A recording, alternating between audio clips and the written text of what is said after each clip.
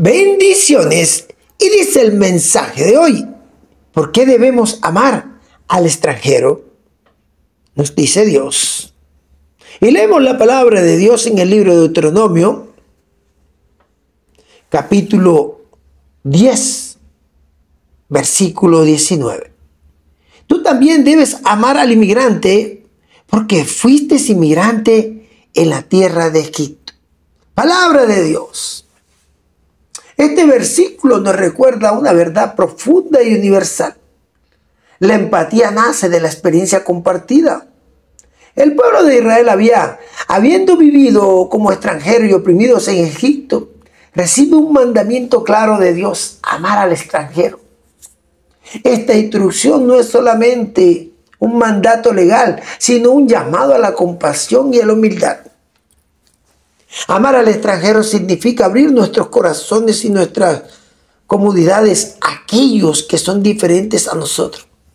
Implica reconocer que todos en algún momento de nuestras vidas hemos, hemos sido o seremos forasteros en algún sentido, ya sea por razones geográficas, culturales o emocionales.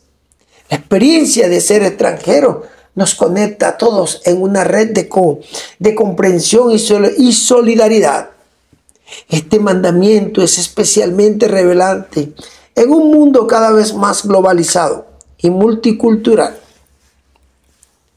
Las migraciones, tanto voluntarias como forzadas, nos presentan oportunidades diarias para practicar este amor y hospitalidad al amar al extranjero, no solo obedecemos un mandato divino, sino que también enriquecemos nuestras propias vidas al, al aprender de otras culturas y perspectivas.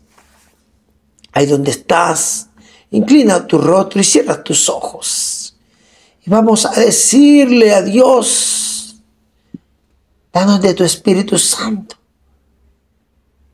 Te pedimos que llenes nuestros corazones con tu amor y compasión Ayúdanos a ver a los extranjeros como tú los ves, con ojos de misericordia y bondad. Quita de nosotros cualquier prejuicio o temor que nos impide extender nuestra mano a aquellos que son diferentes a nosotros.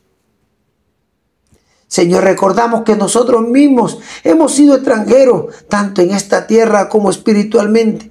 Tú nos acogiste y nos hiciste parte de tu familia. Que este recordatorio nos impulse a ser generoso y hospitalario, reflejando tu amor a todos los que encontramos en nuestro camino.